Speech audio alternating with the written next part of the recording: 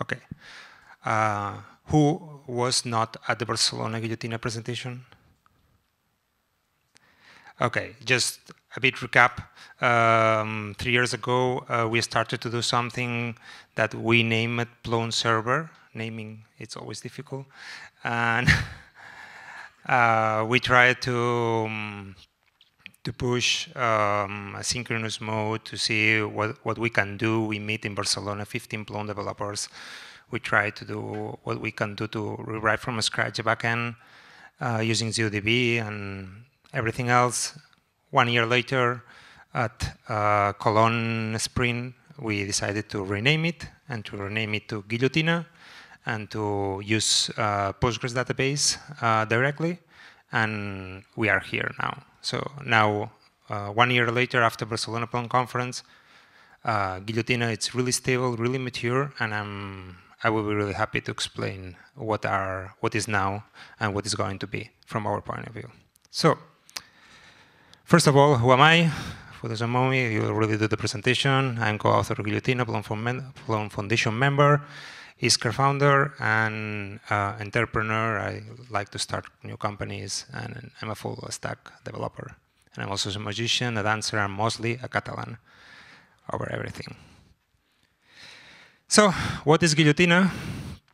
And well, I try to uh, do a uh, to write a sentence. Um, it's an ecosystem. It's not a framework. I like to, to repeat that a lot of times. It's not that it's one package, that it's Guillotina package. It's a bunch of packages that are creating a, uh, an ecosystem of packages that are used to work together and to, the, they are designed to scale and to manage resources with security and a traversal storage. That's the, the main um, goal of, the, um, of Guillotina. The um, two main authors and main contributors are uh, Nathan and me, and uh, he was he's not able to be here, but he sends uh, in in the slides a lot of times. So uh, I really want to mention him because we've been working on this for the last two years together, and it's been a pleasure. And most of the ideas are just uh, he and me discussing, discussing and deciding what to do every time. So before starting, this is going to be a, a code uh, talk, and before starting with the gray slides, I wanted to do a bunch of colorish slides. And this is the, um, my dream of what is Guillotina, or what I want that uh, Guillotina becomes, and what is it right now. So first, we wanted to, to be something that it's easy to use, besides it's async, and you need to write async and await all the time, sorry for that, uh, that allows to develop ideas that are scalable and extensible with options to grow from one user to thousands. We had a use case, we were working on the same company, and we had a use case where we needed to grow a project from a really small use case to a really large use case with lots of users and a lot of data. Uh, we wanted to have uh, a pipeline of uh, components um, to host resources. Uh, resources is the name we use for what Plone calls content. And to split in a smaller pro problems, something that it may be a really complex problem from outside. Um, my uh, dream here is that everybody could use this to deploy large systems, to iterate and to deliver fast, mostly designed for startups where they start with a really small prototype and they need to grow, grow, and grow, uh, adding new users and new, new resources. That is always community driven, that no company belongs, uh, has the, uh, the, IP or the rights on the, on the software. It belongs to the Plone Foundation, and I'm really happy about that. And trying to keep it simple and small. As you see, my dream is not to replace Plone. So um, it's not a tool to replace Plone, to, do, to replace the backend of Plone. It may become, but it's not why we created this thing. We created this thing to be uh, a tool for creating projects because it's the most asked question. So let's start with the technical uh, side of the, um, of the presentation. First of all, uh, Guillotina is based in, in Plone REST API. That thank you to Timo and all the team that was building that. We defined uh, this API uh, or as the entry point. It's a valid API. It's a good API to manage resources and to manage content. And well, it was easy to implement the backend with this API because we also are traversal and it's the main um, request for this, this kind of APIs. Then for the storage layer, the, here, after iterating over different databases, we went through MongoDB and we went through um, Red, even Redis we tried. Um, we decided that the best database that fits our needs for the transactional model and for the kind of way we were willing to interact with the database layer was Postgres. And later on appeared CockroachDB. I don't know if you know, CockroachDB is an amazing database built on Go.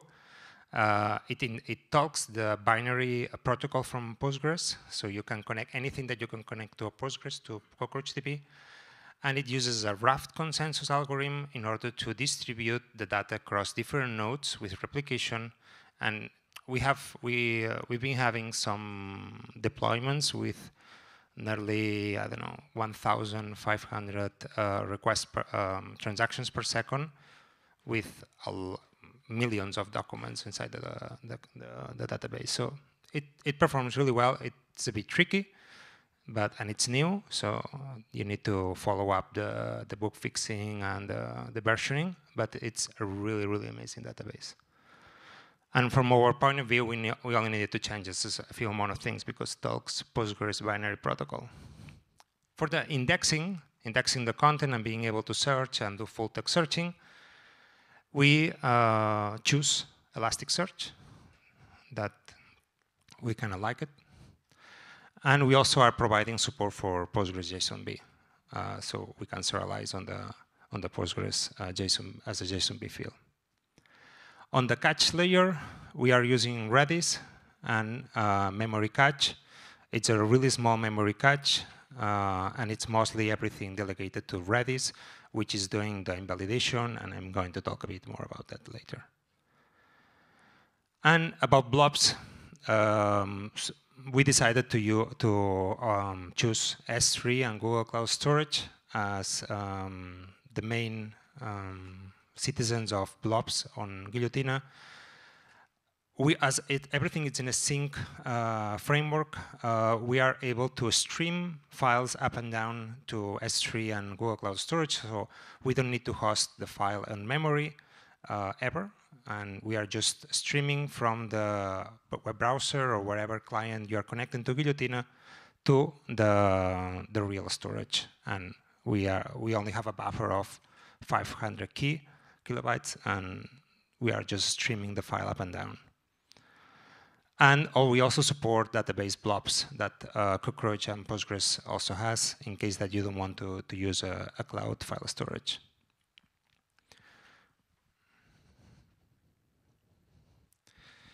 Well, these are the layers, the main layers that we needed to choose to, to uh, reuse the tools that we have uh, already, already stable on, on the ecosystem. But now let's go into inside the, um, the Guillotina architecture. I just pick from Guillotina the most interesting um, concepts, and I'm trying to I'm, I'm, going to try to explain a bit all of them. First, the configuration. Uh, with kind of decided that we don't want to store the configuration on the database. So everything is explicitly uh, configured externally to the database in a YAML that you can provide when you are, uh, you are starting Guillotina. This um, config.yaml that you are sending may override any of the configurations that you have on, on your system. And what we do is we merge this configuration with all the configurations from the different packages that we are loading on our system. All this information can be accessible from the code when you are importing app settings from Guillotina. So you, here you get a large dictionary that with all the configuration that you have for your for your site, everything, uh, the Elasticsearch URL, the database URL, anything that you need, it's going to be on this large dictionary. Decorators, because maybe we suffered a lot about uh, ZCML, we decided to to move to the um, to the pyramid way of defining um, the different elements that uh, developer needs. So we have uh, a long list of decorators to define nearly everything that we think that it's needed. So the first one, configure.service, it's to define an endpoint. You want to define an, um, an endpoint for a specific kind of content. This one. You want to define a new content type, a new resource type. Second one, a, voc a vocabulary, a behavior. We implement behaviors as a first-class citizens of uh, Guillotina. Uh, add-ons, if you want to define, uh, register an add-on to be able to be installed. Adapter subscribers and utility. Uh, different languages. Uh, either even the permissions, the, the roles, granting and granting all can be defined uh, as a um, with this decorator.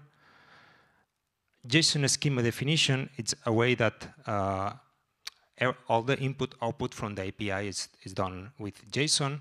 So we needed to find a way to be able to define uh, pieces of JSON that are going to be reutilized in different places of, of, the, of the response. Value serializer and variable deserializer are two um, decorators to define how you want to serialize and deserialize a specific field. Imagine that you have uh, an integer how you want to serialize that on JSON, and from JSON, how you want to convert that to, to the value that we're going to use. So you can uh, configure your own uh, for your own uh, types. And renderer, uh, right now there is only one render register that is JSON, but we are working on having more renderers to be able to convert um, any internal structure to protobuffer or any other kind of uh, format that you want to use.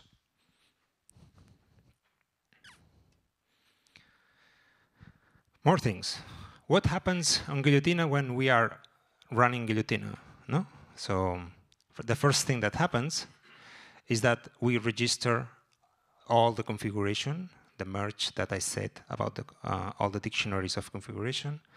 Then we uh, register all the adapters, events, and utilities that uh, Guillotina has out of the box. Then we scan all the packages that are on the key applications on app settings. That means that if your application is not listed on this uh, uh, key, it's not going to be loaded. Then we copied from Pyramid also uh, the include me uh, root function that you, we are calling on, on the package in order to do specific things that that package needs to, to do at bootstrapping them. We register all the adapters from this uh, internal package. Then we load multiple databases. This is important. Um, Guillotina, you can uh, define on the configuration file multiple databases that you want to load. And you can also add um, new databases uh, when the application is, has already started or remove them. Then you configure a static folder and JavaScript apps folder. These two are for uh, static files, clear and JavaScript applications. JavaScript applications is, uh, you know that single page app needs to have this wildcard routing that everything that it's from one point to, to um, um, as the children of that point are going to be needed to be rendered as the same application. So we created this kind of um, mapping where uh, everything that you are pointing is going to render the same JavaScript uh, file. So we can serve one-page applications without uh, Nginx or anything else. We just need the Guillotina. Then we create an, error, uh, an RSA key um, for, for, for generating, uh, creating tokens and load the asynchronous utilities. I'm going to go there later. Security policy. Um, well, the, like Zope, similar to, similar to, to what Zope is doing, um, we have the code configuration.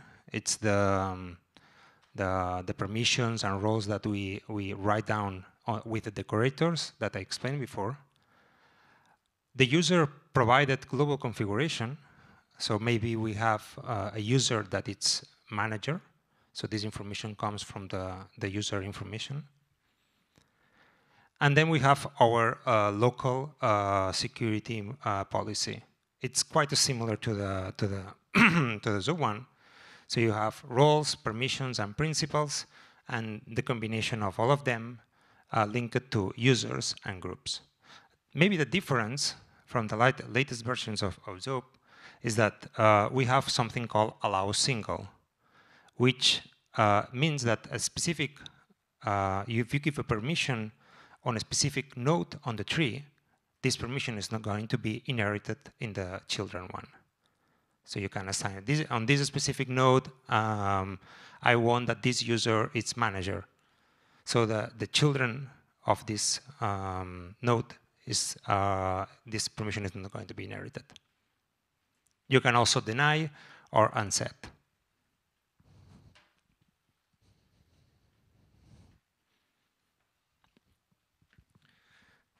Guillotina is not opinionated about users.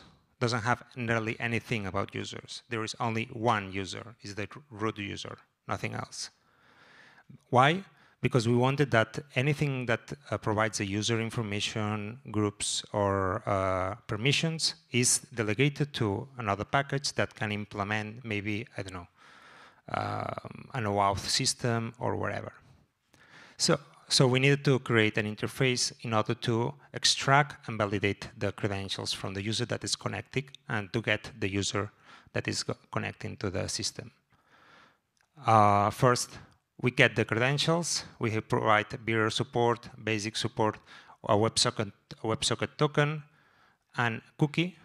So we can extract the credentials from any of these systems. Then we can validate. We have JSON Web Token and salted hash.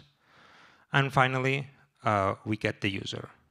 We have only the root user on Guillotina, and then we have three different packages that provides different um, database databases that provides users. For example, Guillotina DB users stores the users as uh, content. So you, each user, it's the membrane project from Plone long time ago.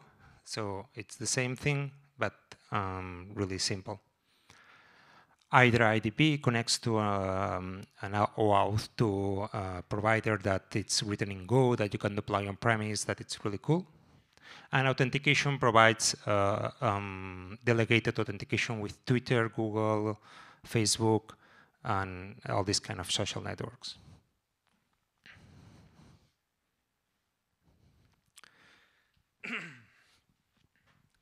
More things. Special permissions that we have. Well, first, access content.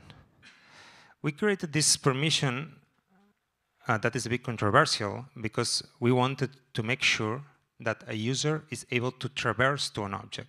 So Guillotina doesn't implement the security proxying from Zope.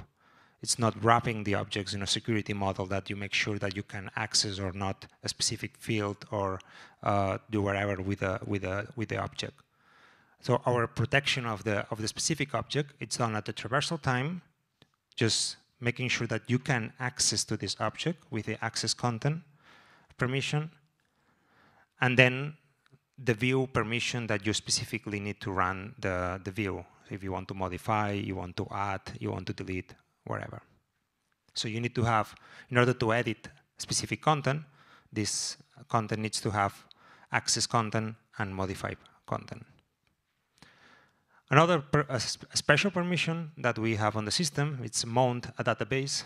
So you can dynamically decide, I want to mount this Postgres that it's wherever on this Guillotina, or I want to do um, mount a file system um, database. There is another permission that it's get API definition. Uh, all the, all the endpoints, as it's based on completely a REST API, we are not rendering anything on, on Guillotina. It's just providing REST API responses, a permission to get the, the API definition, and Guillotina public to have um, Anonymous can access to it. Well, resources. Whoever is used to Plone knows that uh, Plone has um, dexterity content types and behaviors. and you have a large dexterity content type and some behaviors that you, you are applying to, to it. We decided to copy more or less the same idea, but adding something new. It's called dynamic behaviors. The behaviors that Plone has is what we have here called static behaviors. It means that on the class, when you are defining the class, you are saying this class is going to have this amount of content, this amount of behaviors. But dynamically, when there is an instance of that class running, you can decide to apply a specific behavior on that instance. And it gets added to the, to the index. Also, if it involves adding annotations or whatever. So you, you can have objects that has the static behaviors, and suddenly you want that it has an attachment. So I add the behavior of attachment, or I add a behavior of Dublin core, wherever. Fields. Um, well, we support most of the uh, Zope schema fields. Um, the only one that it's uh, noticeable here is cloud file field.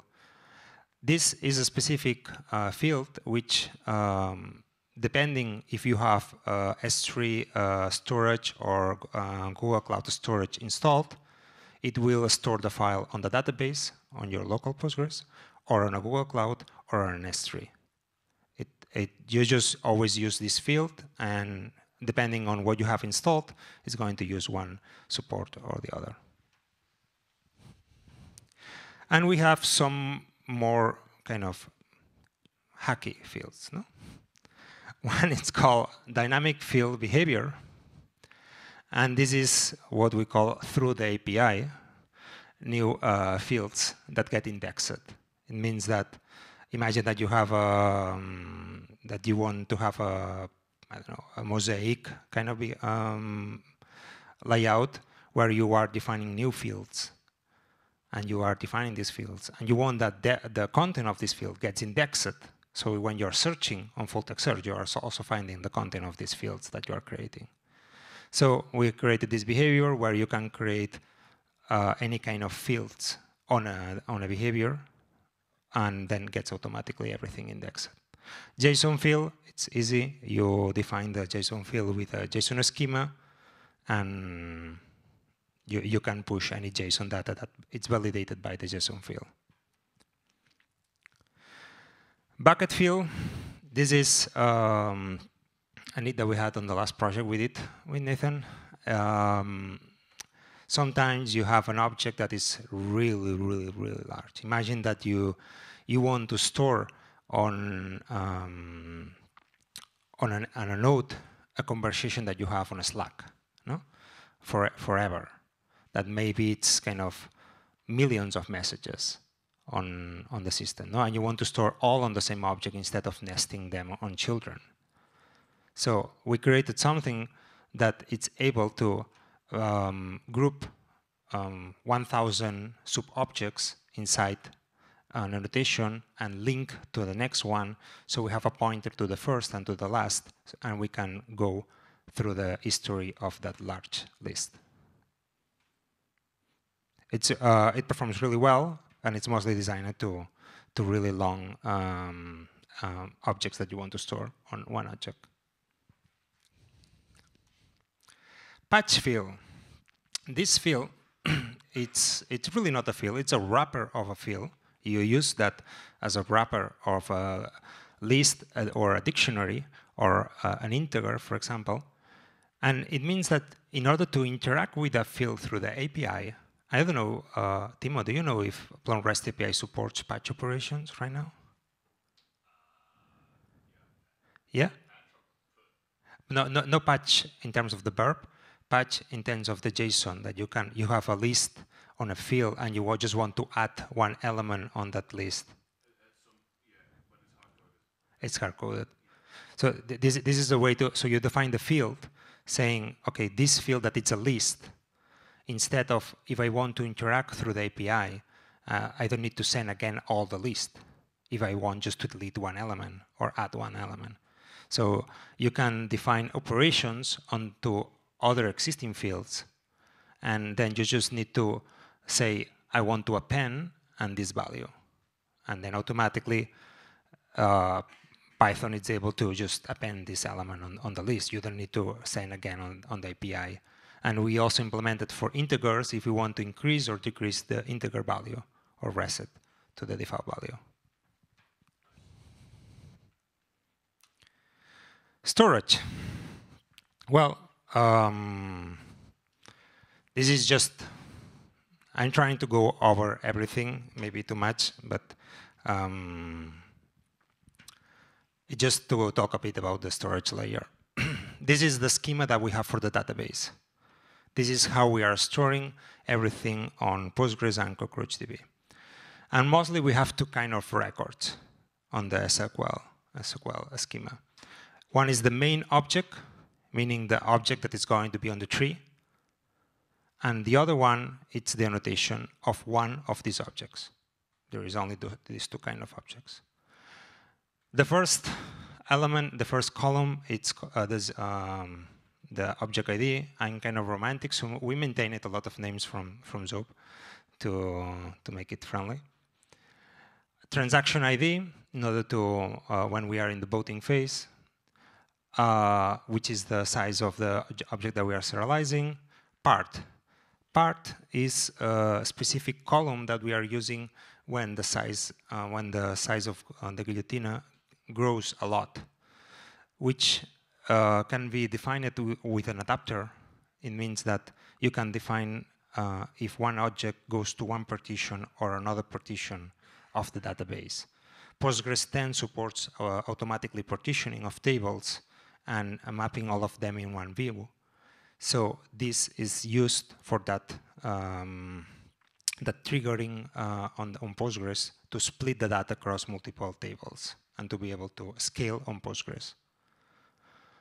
Uh, resource, it's a boolean that just shows if it's a resource, meaning a main object or um, a notation.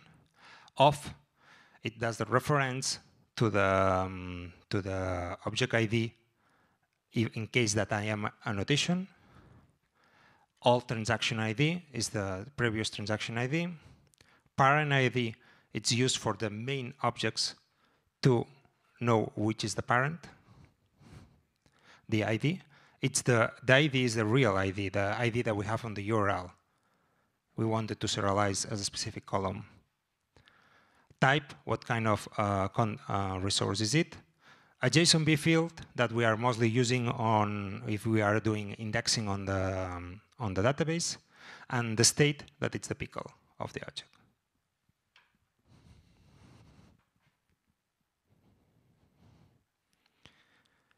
Okay, we have also a registry.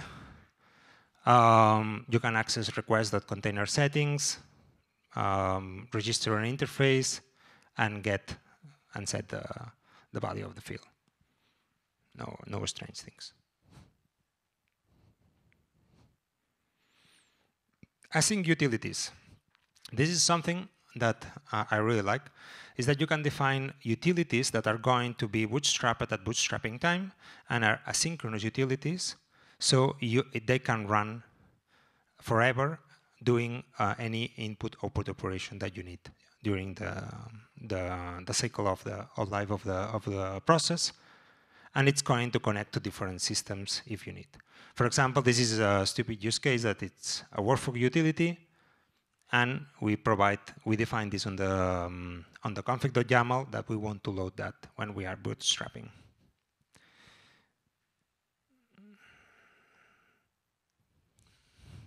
Then we define the utility just inheriting from IAsync utility and configuring the utility that provides this utility. And then we have these two specific methods, initialize and finalize, which is going to be executed when we are starting and when we are shutting down the process. And both are synchronous, they have the, the, the generic loop, so they are able to do operations like, I don't know, give me the credentials from Google Cloud Storage, or, or make sure that everything is clean on the database layer or whatever. And then on the code, of course, we can also get this utility whenever we want using the standard get utility. Well, the view, at the end is what's important. I think uh, I wrote three examples of, of view definition. it's using the decorator configure.service.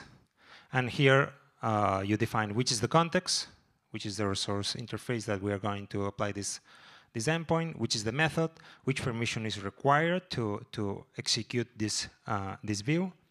Then we have the endpoint. In this case, you see that we have um, also your URL dispatch inside the, the endpoint.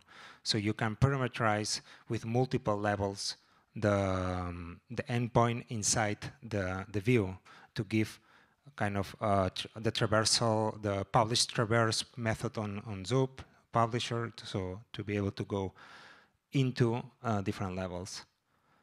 Uh, summary and responses. Most of the calls from Guillotina have a lot of documentation on the definition of the, um, of the service because we provide a Swagger out of the box.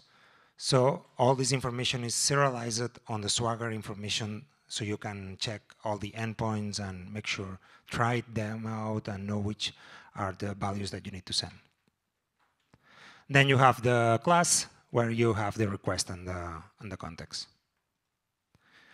this is another example. This the um, the speci special thing about this example is the allow access true. This is the only way to skip the access content check on the traversal. So you can define, okay, I want to allow to access uh, to this view, no matter if the user has access to the content that it's going to be accessed. For example, the login endpoint needs to have this, this, otherwise you're never going to be able to call it. Well, another example of how to do the, um, the explanation about uh, responses. So when we have a 200, we are going to receive something that it's a schema that it's a reference to something we call application. And we define it application with that um, decorator I explained it at the beginning, where you're defining JSON uh, blocks. Well, the, the flow of the request is quite simple.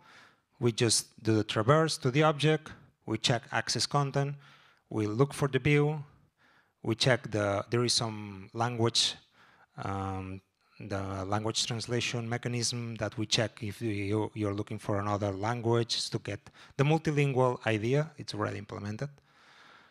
Um, we check the permission, the view permission, we execute the view, then we do the commit or the abort, or, and we do the post commit operations. And one really nice feature that we are using a lot is that if you need to do something when this is already committed, so maybe, I don't know, logging or on some st stupid place in a synchronous way.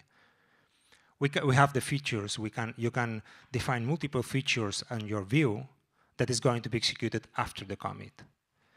And this is done after the response has already deli been delivered to the client.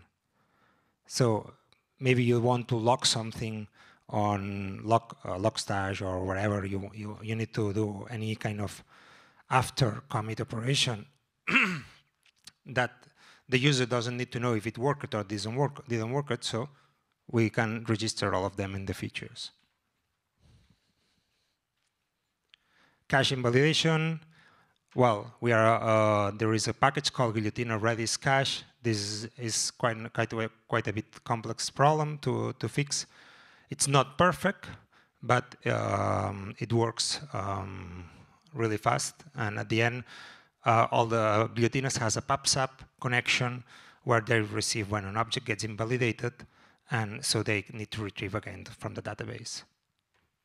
And uh, we also store the um, objects with a TTL on the Redis uh, if we to, to get them faster, the pickles. Indexing. Um, there is a lot of things to, to explain about indexing. We have uh, the Elasticsearch plugin, it's really cool, and it works really well. At the end, we convert to JSON with a specific mechanism where you can define, can define indexes uh, uh, with uh, directives on the interface. And then uh, an Elasticsearch is on a post-commit hook, and on Postgres is sent on the same commit. And then for security, on Elasticsearch, we're using access roles and access users that we are uh, um, defining for each object. Okay. All this backend thing, it's really nice. I have only five minutes, so I'm going to go a bit faster. Mm. We have a UI, thanks to Eric Brychel, that it's really nice. You can log in, get uh, the database, get um, a container, and being able to, to browse like a ZMI, but the GMI. You can create new content here, and you can do whatever you want. Now I think it's down. But well, it's really nice. Uh, tomorrow we will show more about this on the Guillotina CMS because there is also a rich text editor. Mm. Mm. Yeah. So, which is the status? We know that there is uh, five co companies that are using it. We know uh, deployments that I think it's more than 20 million right now. It's nearly 30 million or 50 million objects that are deployed. We have 93% of code coverage. We are now in 4 to 11. We are uh, um, releasing 5 by the end of the year. There is a lot of documentation. There is a lot of tutorials. There is a GitHub channel. Um, there is two main repositories on GitHub called Guillotina Web and the Plone repository. And I want to do a really short demo of something specific.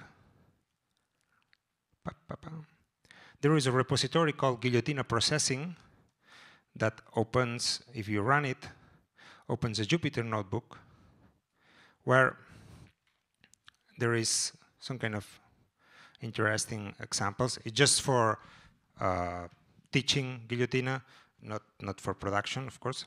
Uh, this, this first notebook, it's about using the API in order to uh, push onto the system uh, a CSV file with a lot of articles. There is, I think, uh, this is a standard REST API, Plone REST API. We create a container, we uh, install the, an add-on, another add-on, we read a CSV file, and we push all the articles as documents on the system. And there is 2,579 uh, articles. So this is using the REST API, no strange thing. If you want to check, it's in the guillotina underscore processing. But the interesting one it's the second one, the compute one, that we are able, since Jupyter supports asyncio, and recently in the last month, uh, you're able to start a guillotina inside the, the Jupyter. You can create an, the application. You can connect. We use this, this con, uh, context manager called Content API, sending the, which database you want to use. So you can do, uh, it opens a transaction and getting out of the of it closes the transaction. And this, this example goes through all the content and creates a machine learning model with TensorFlow and Keras to classify news between uh, if it's uh, political or sport news. It's quite interesting. I think I have, I'm running out of time, so I'm going just going to the last two slides. That's the roadmap and how, where, where I'm going to sprint the, we have two main problems right now. One is the um, how to index uh, the security information and how be able to search the security information without the need of reindexing the children when we are changing the, um, the security information of one node. And we, we have some proof of concepts of ways of organizing the data on, on the indexer, so we don't need to um, to serialize everything to each object, and how to distribute more. The, we are reaching limits on, on the performance, and we want to be able to distribute uh, the data on or sharding more on different systems. We have a lot of ideas on, on mine. We are mm, going to try to do something with Rust and, and, and Raft. Zero time. So thank you.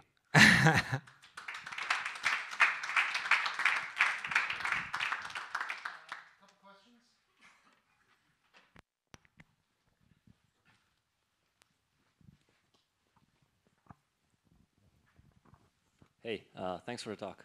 Uh, what Swagger version do you export to and is like is it exported uh, schema? Does it include the schemas of the content and all the validation validation fields, or is it just like simple schema? Um, I think it's the latest one. I, am not. ah.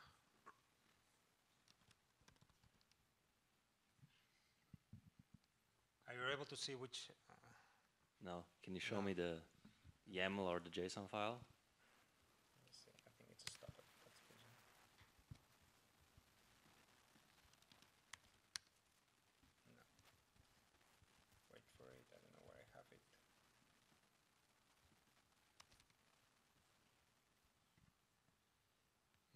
Automatically everything is automatically generated so i cannot show you if i cannot access it i can show you later but i think it's the latest version of swagger because we are using the latest version of swagger the client can I, can I use, a, for example, React Swagger library to generate a React client? Then yeah. you need to provide me a JSON or YAML file. Yeah, the problem is that this is traversal. It's based on traversal, so you need to change the path to define to know which endpoints do you have on that path. So you cannot do that. You cannot uh, do automatically generating code, code because the, the definition depends on which uh, path you want to access to. Anybody else have a question? Thanks. Uh, what do you use on the like between the, the code and so do you use an ORM or how do you get things into the, the, the ORM is something we built ourselves uh, based on persistent dot persistent. We created something a bit different that uh, it's much thinner and that allows to work with asyncio um, point of view. Can I have another one? Anyone else? Oh, there's.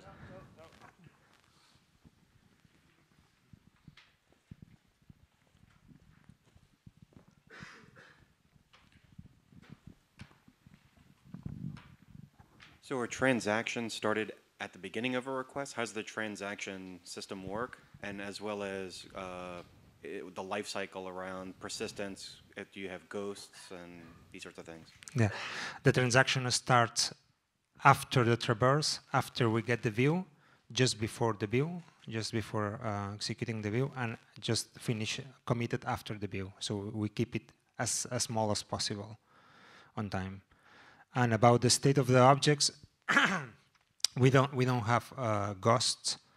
Uh, we are just um, the objects that are um, on on memory are getting validated and are linked to to the rec specific request that you are you are connected to. We have weak we have weak references to the to the objects, but we don't have the the concept that persistent or persistent have as ghosts.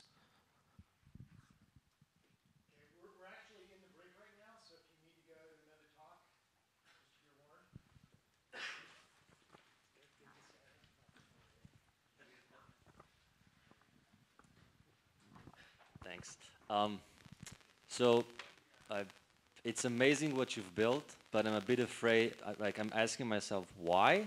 For example, like you said, you, you have support for automatic table partitioning, but the, the official documentation for Postgres says until your tables are several hundred gigabytes long, you don't need table partitioning.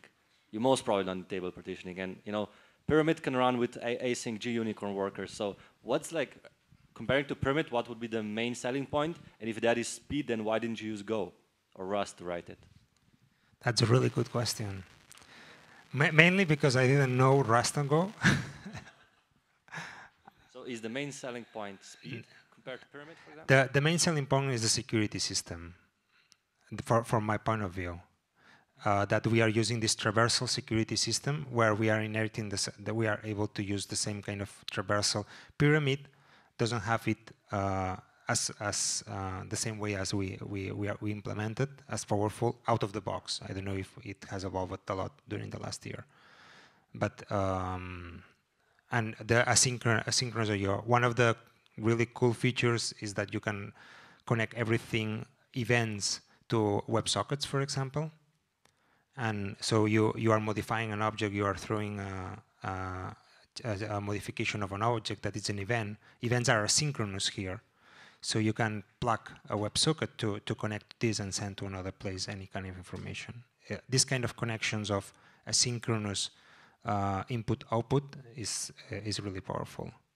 Uh, there is a project where they are using a lot this, this and mo mostly we reached limits of scalability with Pyramid, um, with uh, with uh, Zope, and we tried to go deep to tune it. We were not able to make them faster. Maybe it was because we were not enough experts on that technology, and we needed something with a, a nice developer experience. So Python, it's a good a good tool.